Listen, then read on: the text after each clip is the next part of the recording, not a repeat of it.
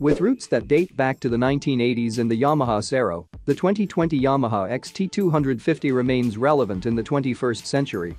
Along the way, the 223cc motor grew to 249cc, although it retained its SOHC2 valve architecture, and it is still air-cooled.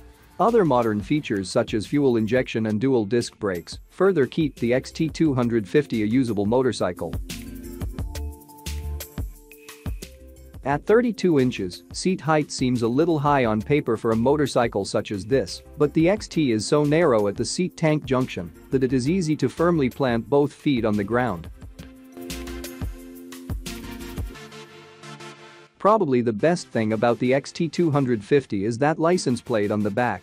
It opens the door to many more legal areas to ride than dirt-only motorcycles. Even though the XT250 is technically a full-size motorcycle, it doesn't feel that way between your legs, it feels small in overall size and is one of only a few bikes like this that caters to newbies and shorter inseamed riders that is both dirt-focused and street-legal. Suzuki's DR200 quickly comes to mind, as does Yamaha's own TW200.